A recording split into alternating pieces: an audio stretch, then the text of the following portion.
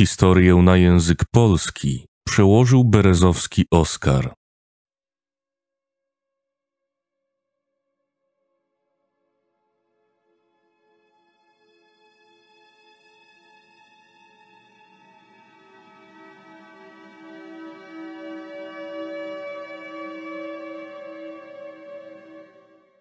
Miałem osiem lat i byłem wtedy w szpitalu.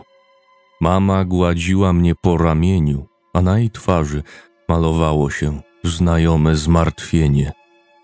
Biały pokój, w którym się znajdowaliśmy, pachniał kwiatami nasączonymi alkoholem. Obok niej siedział lekarz, pochylony w moją stronę. Nie spieszył się z zakładaniem ostatnich szwów na opuszku mojego palca, tego, którego głupio rozciąłem wieczkiem puszki. Bolało. Nawet po zastrzykach przeciwbólowych nadal bolało.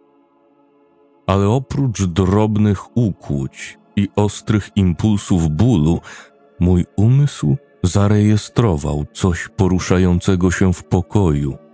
Mały, ziarnisty kształt unoszący się nad głową doktora. Forma przypominająca śnieżną kulę. Dryfowała bezwiednie po pokoju, niczym bezbronna bańka porwana przez niewidzialny nurt. W jej wnętrzu chmara migoczących plamek światła, które przywodziły mi na myśl świetliki. Wszystkie naraz skondensowały się w centrum kuli, błysnęły jasnym światłem, a następnie kontynuowały krążenie w różnych kierunkach. Robiły to w stałym tempie. Cyk, cyk, cyk, cyk, zupełnie jak puls w moim palcu. Mamo, zapytałem w końcu, widzisz tą wróżkę? Zarówno ona, jak i lekarz wymienili między sobą zdziwione spojrzenia. To był pierwszy raz, kiedy je zobaczyłem. Drugi miał miejsce w domu mojego przyjaciela w siódmej klasie. To była noc w środku tygodnia, a my spędziliśmy wieczór przesiadając się ze strasznych filmów na filmiki z reakcjami na nie. To, co zaczęło się dla mnie od lekkiego bólu w skroniach, szybko przerodziło się w powalającą migrenę. Moja boląca głowa całkowicie mnie wykańczała. Myśl o pieszej wędrówce do domu mnie przerażała, więc tata przyjaciela pozwolił mi spać na kanapie, dopóki środki przeciwbólowe nie zaczną działać. W ciemnościach głuchego korytarza ze schodami na piętro wychwyciłem kolejną kulę na obrzeżach mojego wzroku. Jej zamglona, wypełniona światłem postać dryfowała nad schodami. Te same kłębki światła, te same ruchy, ale jedna rzecz była inna. Tym razem mogłem poczuć silny, stęchły zapach popielniczki. Kiedy zadziałały środki przeciwbólowe, zarówno kula, jak i jej zapach zniknęły. Dopiero pod koniec tego samego miesiąca dowiedziałem się, że mój przyjaciel stracił matkę, która była chora na raka płuc spowodowanego przez jej ulubione papierosy. Uświadomienie sobie, że nie jesteś szalony, że rzeczy, które dostrzegałeś przez całe życie, nie były tylko wytworem Twojej wyobraźni, przynosi niesamowity komfort. Ból to jest właśnie wyzwalacz. To jedyny sposób, w jaki mogą zobaczyć duchy, byty, czy jakkolwiek chciałby się nazwać. Zawsze uważałem to za błogosławieństwo. Gdyby moje endorfiny nie działały na to jak wyłącznik, widziałbym je wszędzie. Krążące, wpadające na siebie jak zdechłe meduzy. Próbowałem je dotknąć, a nawet złapać jedną do słoika. Nic z tego. Wszystkie są bezcielesne. Nie wszystkie z nich mają swój odróżniający się zapach. I nie pytaj mnie, co na to wpływa. Czasami, jeśli jestem wystarczająco blisko jednej z nich, mogę dostrzec jakieś odbicie na jej przezroczystej powierzchni, niewyraźny zarys ust, włosów, a może nawet oczu wpatrujących się we mnie. Nie uważam się za medium ani nic równie wielkiego. Nie rozmawiam też z nikim o tych sprawach. Nie szukam uwagi. Szczerze mówiąc, jestem po prostu kimś przyzwyczajonym do bycia innym. Urodziłem się z zespołem kociego oka w lewej źrenicy, anomalią, która wydłuża jej kształt. W przeciwieństwie do nazwy, moja źrenica wygląda bardziej jak kula atramentu ślizgająca się po mojej tęczówce niż oko mojego burego kota. Ponieważ źrenica nie może samodzielnie się rozszerzać, jestem wyjątkowo wrażliwy na jasne światło. Ogólnie rzecz biorąc, przyzwyczaiłem się do powtórnych spojrzeń. Spojrzeń typu jeszcze raz zerknę, a potem w nogi. Szkoła podkręciła tę tolerancję. Dzieciaki nazywały mnie cyklopem i lubiły rozpowiadać plotki, że jestem zarażony jakąś straszną chorobą. Nie jestem pewien, czy to dzięki temu widzę rzeczy, które widzę, ale jedno jest pewne. Moje lewe oko widzi je znacznie wyraźniej w ciemności. Pewnego czwartkowego wieczoru, w samym środku lata, mój wujek skontaktował się z moim ojcem i zapytał, czy nie chciałbym go odwiedzić i zostać na kilka dni. Szukał pomocy przy dokańczaniu remontu nowego domu, do którego się wprowadzał, i zaoferował mi szansę na dodatkowy zarobek. Biorąc pod uwagę, że zapewniał pokrycie kosztów lotu do Mississippi, zgodziłem się. Będąc świeżo upieczonym absolwentem liceum, starałem się o każde dodatkowe środki finansowe na studia. Podróż z Los Angeles do Delty w stanie Mississippi trwała kilka godzin, a wujek Davin czekał już na mnie na lotnisku. Nie przyjechałem tam tylko dla pracy. Samo spotkanie z nim było warte tego lotu. Nigdy nie spotkasz kogoś pogodniejszego niż on. Zawsze uśmiechnięty i pomocny, pomimo jego osobistych problemów. Jeśli nie wygłaszał kazań w lokalnym kościele, to zawsze w jakiś sposób udzielał się społecznie. Załap południowego ducha głosiła wgnieciona tabliczka witająca nas w hrabstwie Holmes. Czymkolwiek był ten duch, miałem nadzieję, że to niezaraźliwe. Dotarliśmy do miejsca, w którym miałem mieszkać przez kilka następnych dni. Domku na farmie, który z łatwością pomieściłby pięcioosobową rodzinę. Podwórko wujka Davina było rozległym polem otoczonym wysokimi drzewami wzdłuż krawędzi. W oddali widać było kształt rozpadającej się porzuconej stodoły. Najbliżsi sąsiedzi byli oddaleni o wiele kilometrów, gdzieś pomiędzy rozległymi polami bawełny a bagnami lasów cyprysowych. Jeśli ktoś kiedykolwiek zapytałby mojego wujka, dlaczego wybrał te leśne ostępy Mississippi, ten zaledwie wzruszyłby ramionami i powiedział: Mieliśmy dość hałasu. Ironia losu, biorąc pod uwagę nieprzyzwoicie dużą liczbę ptaszków zamieszkujących okolice, drozdów, nie można było postawić dwóch kroków od frontowych drzwi, nie słysząc ich gwizdów z linii drzew. Samotne samce śpiewały nawet w nocy. Jestem pewien, że mój wujek potrzebował pomocy przy remoncie, ale bardziej niż prawdopodobne jest to, że potrzebował po prostu towarzystwa. Ciotka Rosie, jego żona, Zmarła niedawno z powodu choroby serca.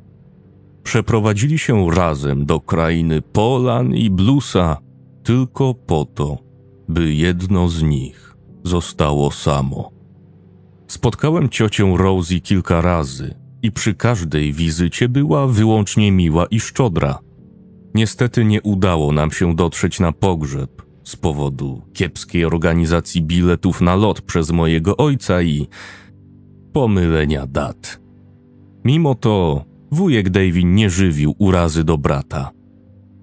Zanim zapadł zmrok, skończyłem rozpakowywać się w pokoju gościnnym i czekałem na smętne ptasie piosenki, które miały ułożyć mnie do snu. Następnego ranka wstaliśmy wcześnie, zjedliśmy śniadanie i ruszyliśmy do pracy. Spędziliśmy całe popołudnie, uprzątając pokoje, zrywając wykładziny i szlifując drewniane podłogi. Do końca dnia udało nam się skończyć kilka pokoi i zacząć kłaść płytki w łazience. Byłem wyczerpany.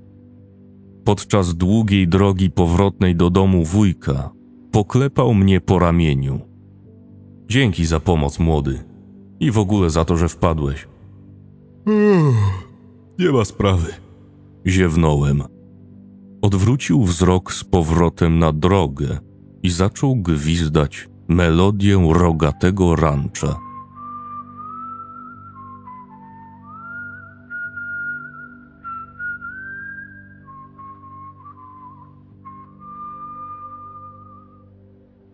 To była jej ulubiona piosenka, wiesz? Powiedział. Dokładnie ta, którą zawsze śpiewała po kościele. Oczywiście, te małe dziobaki też jej nauczyły, więc wciąż ją słyszę na podjeździe. Ech. Westchnął ciężko, wydmuchując nos. Ciężko jest być szczerym wobec samego siebie, nie?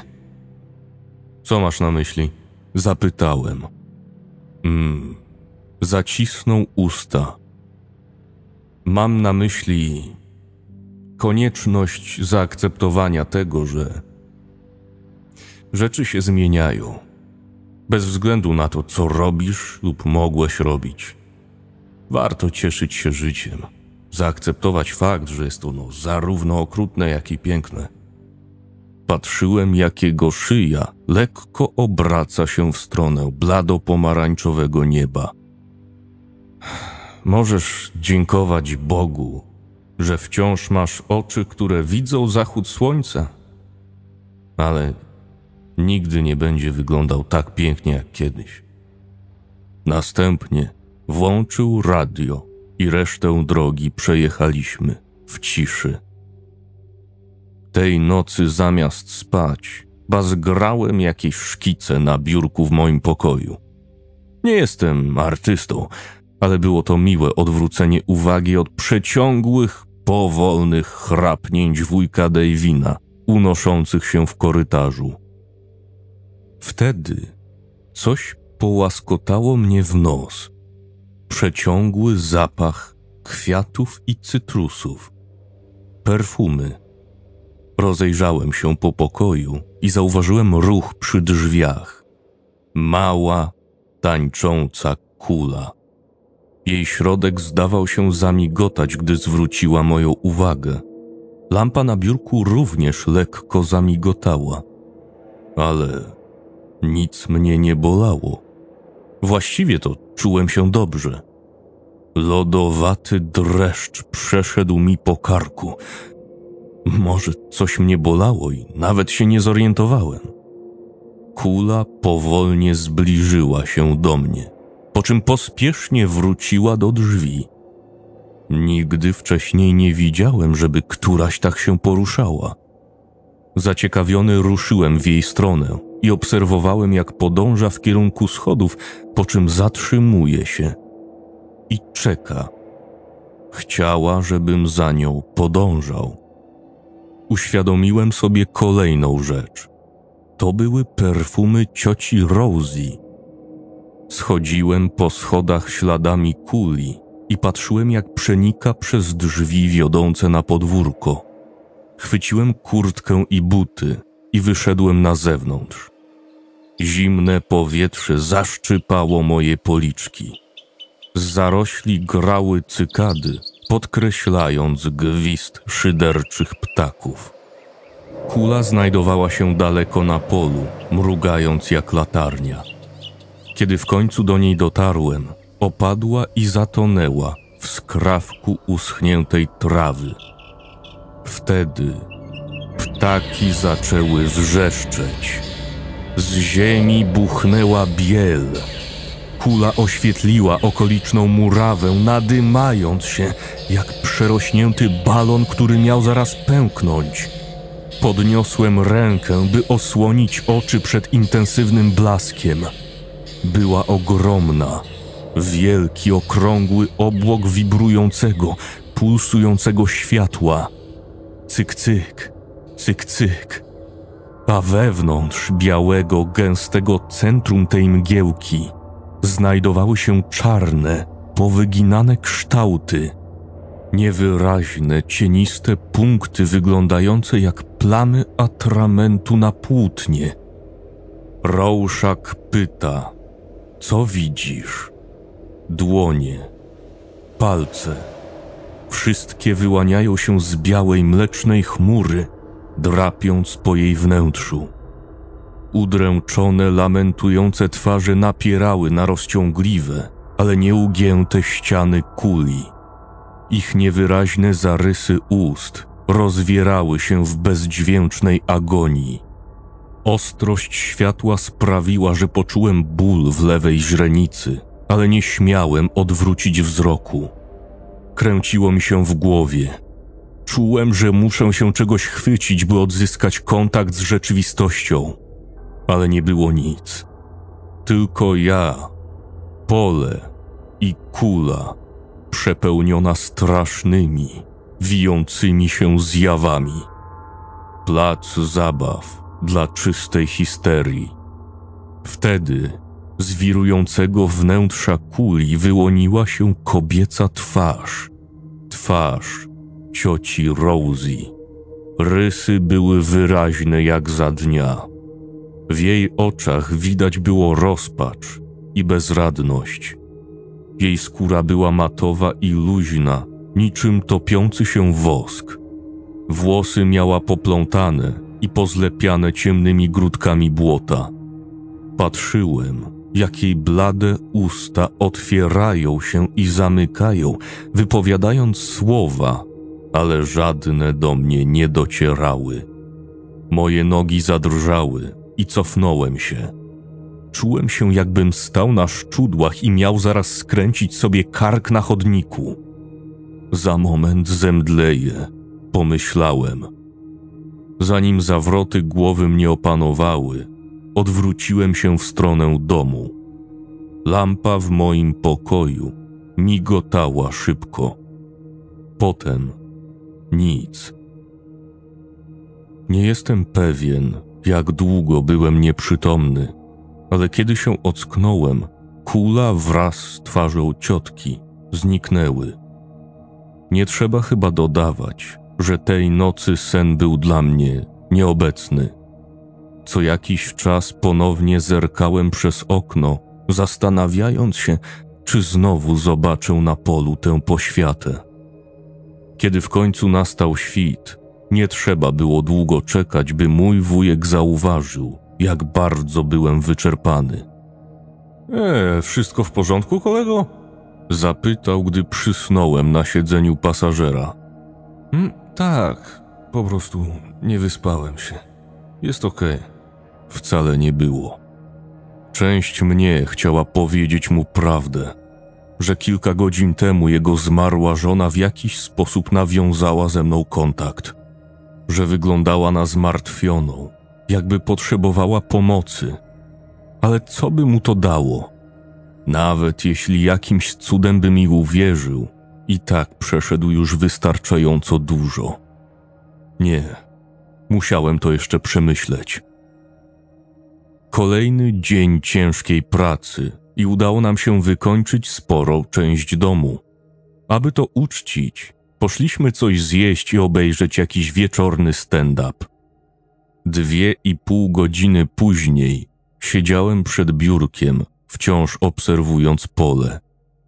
Nie byłem pewien, czego się spodziewać, ani nawet jak przetrawić informacje, które już posiadałem. I wtedy, dokładnie w tym cholernym momencie, gdy zacząłem odczuwać szczyptę ulgi, mała kula przeleciała obok, mrugając do mnie swoim delikatnym światłem. Zapach perfum otarł się o moją twarz. W dalszym ciągu nie odczuwałem żadnego bólu. Przełknąłem z trudem ślinę. Ciociu Rosie, czy to ty? Żadnej odpowiedzi. Wciąż tylko dryfowała. Spróbowałem jeszcze raz. Jeśli to ty, odezwij się. Przeleć na korytarz, daj mi jakiś znak. Kiedy to powiedziałem, lampa na moim biurku zamigotała. Możesz to powtórzyć? Zapytałem. Światło rozbłysło ponownie. Muszę wiedzieć, czy potrzebujesz pomocy. Jakby reagując na mój głos, lampa znów zaczęła migotać. Przestała, a następnie zaczęła od nowa, powtarzając ten sam, identyczny rytm jeszcze dwa razy.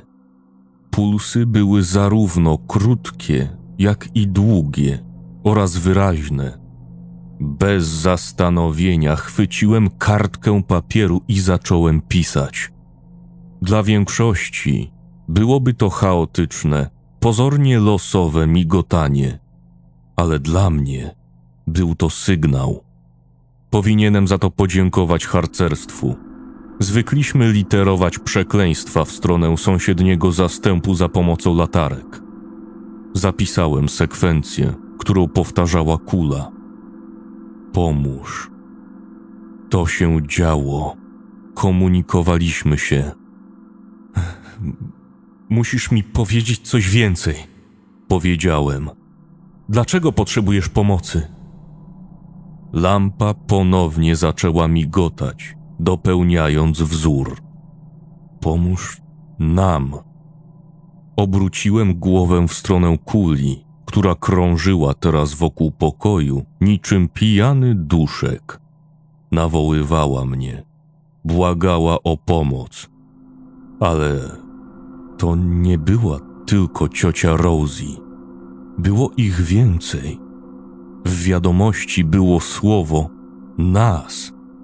Zanim zdążyłem zadać kolejne pytanie, wiadomość się zmieniła. Zabita. Poczułem ostre ukłucie lęku. Dlaczego to słowo? Dlaczego to okropne, obrzydliwe słowo? Zimne, szorstkie słowo, które wbiło się we mnie jak zimny metal. Moje serce boleśnie zakłuło. Przyspieszyło, jakby wypompowywało nadmiar płynu z klatki piersiowej, próbując uchronić ciało przed utonięciem. Nie chciałem zadawać kolejnego pytania. Nie chciałem znać odpowiedzi. Kto cię zabił? Mąż. Nie, nie, nie! Przekreśliłem to słowo tak, jakby miało w sobie choć uncję prawdy. To nie było możliwe. Mój wujek był aniołem. Był najbardziej bezinteresownym człowiekiem, jakiego znałem.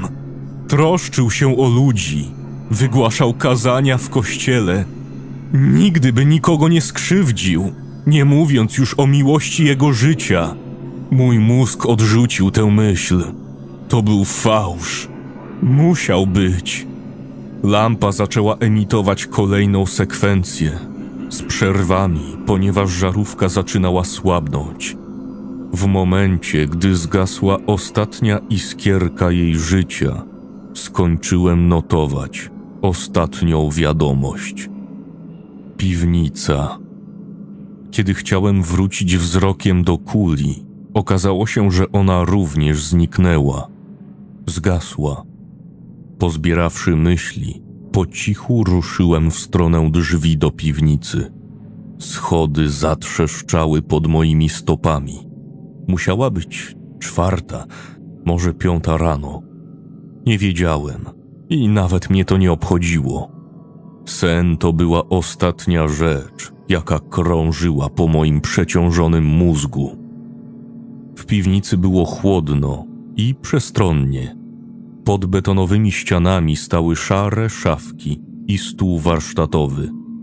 Oprócz tego było małe kwadratowe okienko z widokiem na podwórko.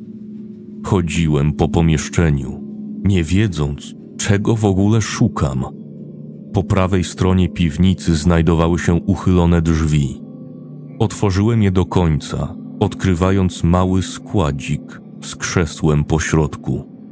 Krzesło miało na sobie grube, skórzane pasy na nadgarstki i kostki.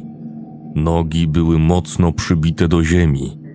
Całość wyglądała jak coś przeznaczonego dla znerwicowanego pacjenta na oddziale psychiatrycznym. Drewniane podłokietniki były pokryte licznymi rysami i zadrapaniami od paznokci. Krzesło otaczał gruby pierścień soli, wzdłuż którego stały liczne, stare, wypalone świece. Musiałem się cofnąć i przypomnieć sobie o konieczności oddychania. Myśl o byciu skrępowanym w tej ciasnej, wertykalnej przestrzeni przyprawiała mnie o duszności. Wróciłem do sypialni, w której sen nigdy nie potrafił mnie odnaleźć.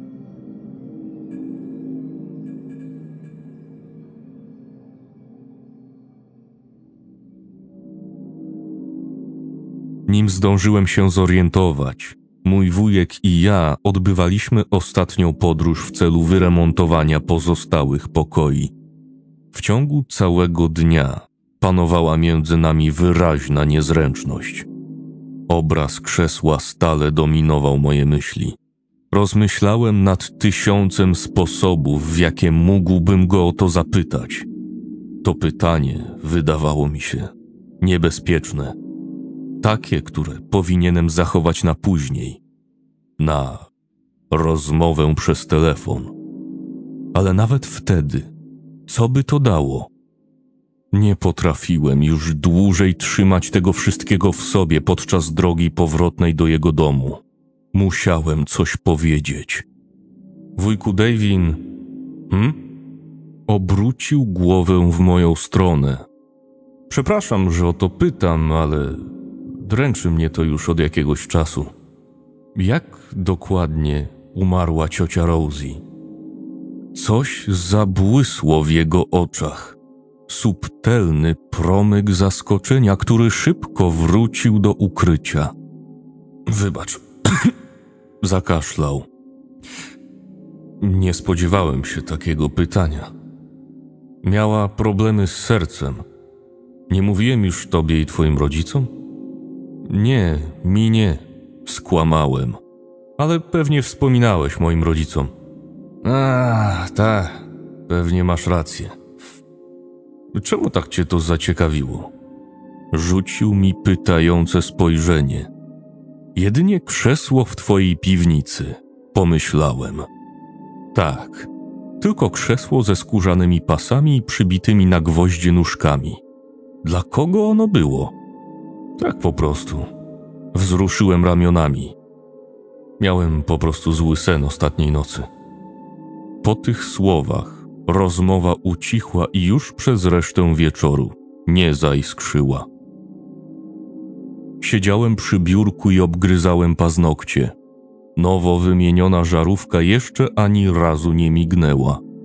Jutro miałem lot powrotny i nie mogłem określić, czy się go boję, czy wyczekuję. Bezskutecznie próbowałem dodzwonić się do taty, a telefon mamy od razu łączył mnie z pocztą głosową. Chciałem po prostu porozmawiać, usłyszeć w głowie głos inny niż mój własny. Rozległo się pukanie do drzwi. Wchodź, powiedziałem. Mój wujek delikatnie popchnął drzwi, trzymając w dłoni szklankę ciemnej whisky. Cześć, kolego, Westchnął. Dziś twoja ostatnia noc tutaj. Chcesz obejrzeć ze mną film? E, nie, dzięki. Jestem trochę wykończony. Jego twarz przybrała nieco zmartwiony wyraz. Coś jest nie tak między nami? Mam wrażenie, że jesteś smutny. Nie, nie jestem. Przepraszam. Po prostu mam dużo na głowie teraz. Widziałeś piwnicę, prawda? Panika zacisnęła mi gardło. Co? Westchnął ciężko i podszedł do łóżka, praktycznie się o nie potykając. Wtedy zdałem sobie sprawę, jak bardzo był już pijany. Dlatego pytasz? Hm? Mruknął. Bo się y, martwisz. Nie byłem pewien, co powiedzieć. Naprzeciwko mnie nie siedział wujek Davin, tylko jakaś jego tania kopia, pijana jak świnia i kryjąca przed ludźmi jakieś sekrety. Coś ci opowiem, powiedział sucho. Coś, czym nie podzieliłem się z resztą rodziny. Szczerze mówiąc, byłem dość. Bałem się o tym mówić. Jego oczy powędrowały na szklankę whisky, którą obejmował obiema dłońmi. Kiedyś byłem egzorcystą. Wiesz, kto to taki, prawda? Skinąłem głową. Mądry chłopak. tak myślałem, żebyś wiedział. Zaśmiał się nerwowo. Rozumiem, że takie tematy są dla ciebie jak wróżka zębuszka, ale gdybyś widział to, co ja, to może byś zrozumiał. Kobiety molestujące same siebie, wrzeszczące na mnie głosami, które nie należały do nich, oczy wywracające się do wewnątrz, piana tryskająca z ust. Mm. Ludzie przychodzili do mnie po pomoc. No, do mnie przychodzili, a ja im pomagałem. Powtórzył ponuro. Pomagałem im wszystkim. Co to ma wspólnego z ciocią Rosie? Obrócił szklankę w dłoni, rozlewając trochę trunku na podłogę. Ten dom nigdy mnie nie lubił. Nienawidził mnie od samego początku. Coś było z nim nie tak. Coś było tu przed nami, w piwnicy. Rosie to znalazła i to w nią wstąpiło. Sprawiło, że zaczęła się dziwnie zachowywać. Końcówkę zdania z siebie wydusił, robiąc pauzę, by otrzeć łzę z policzka. Chciała mnie skrzywdzić. Chciała sobie zrobić krzywdę. Musiałem to zrobić. Musiałem to z niej wyciągnąć. I zrobiłem to. Ale jej serce. Jego tułów osunął się na kolana. Jej serce i tak było już słabe. Nie dała rady. Nie mogę tam wrócić. Nie mogę. Dlatego pomagasz mi remontować nowy dom. Bo nie mogę dłużej tu być. To dla mnie za dużo. Reszta jego słów utonęła w chaotycznym szlochu. Przepraszam cię, młody. Rozpłakał się. Przepraszam. Pomogłem mu podnieść się z łóżka i odprowadziłem go korytarzem do jego pokoju. Jego oddech cuchnął trawiącym się alkoholem. Próbowałem. Nie mogłem się tego pozbyć. Mamrotał, gdy doprowadzałem go do łóżka. Musiałem zakopać. Drzwi zatrzasnęły się za mną. Nie mogłem już tego znieść. To było dla mnie zbyt wiele do ogarnięcia. Nogi bezwiednie poprowadziły mnie do garażu. Dość tego. Moja niepewność, każdy jej skrawek przerodził się w rażącą pewność. Odkryć prawdę. Przebrnąłem przez podwórko z łopatą w ręku. Zimne powietrze mi nie doskwierało. Drozdy gwizdały i podśpiewywały z linii drzew. Dotarłem do skrawka obumarłej trawy i zacząłem kopać. Chór ptaków śpiewał przenikliwymi, wysokimi gwizdami. Mordy! Ryknąłem na nie, wciskając zaokrąglone ostrze głębiej w ziemię. Wtedy usłyszałem drobne skrobnięcie, świadczące o tym, że w coś uderzyłem. Opadłem na kolana i odgarnąłem mokrą ziemię na bok.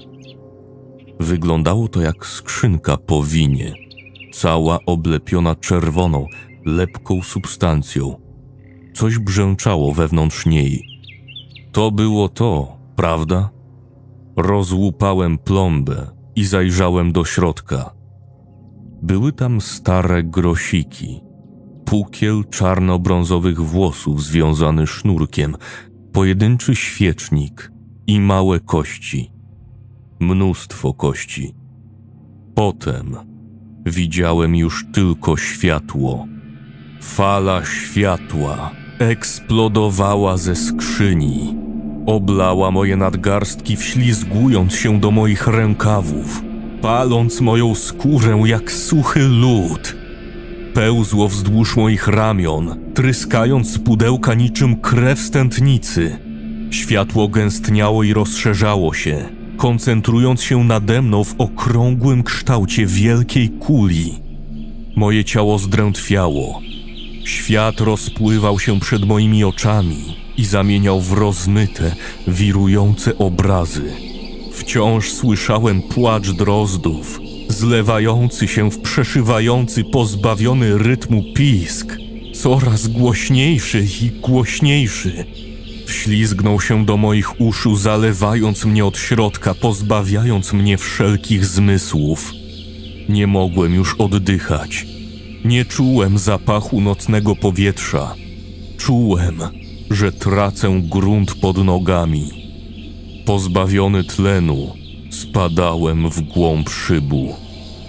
Nie było już żadnego światła, tylko niekończąca się, wygłodniała ciemność. Mięśnie w moim ramieniu boleśnie się napięły. Usłyszałem głos, który nie należał do mnie. Krzyk. Kiedy się ocknąłem, stałem w ciemnym pokoju. Krzyki ustały. Serce waliło mi w żebra, niczym uwięzione zwierzę. Byłem lepki od potu. Cokolwiek trzymałem w ręce, nagle upadło na podłogę. Nóż kuchenny, umazany krwią. Strach zagłuszył moje myśli. Prześledziłem wzrokiem pokój, pokój mojego wujka i spocząłem na łóżku, gdzie pod kołdrą leżało coś nieruchomo. Ciało. Prześcieradło było skąpane w czerwieni i mocno podarte. Moje drżące dłonie również były nią pokryte. Pomoc. Mój zrujnowany umysł zdołał zebrać myśli. Trzeba sprowadzić pomoc. Odwróciłem się w stronę drzwi i zamarłem. Na ścianie widniał wciąż wilgotny napis, namazany krwią. Dziękuję.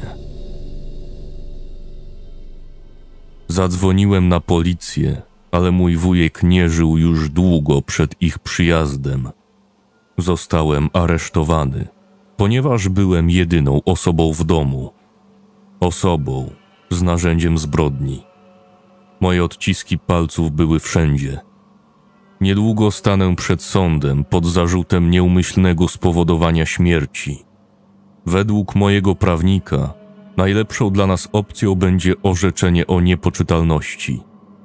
Cokolwiek było w tym pudełku, porwało moje ciało i dźgnęło wujka Davina nożem dwadzieścia razy. Nigdy sobie nie wybaczę, że do tego dopuściłem. Dziękuję, powiedziało mi, gdy to wypuściłem. Przepraszam, wujku Davin. Przepraszam za to, co ci zrobiłem i za piekielną moc, którą wypuściłem na świat. Wybacz mi. Proszę, wybacz mi.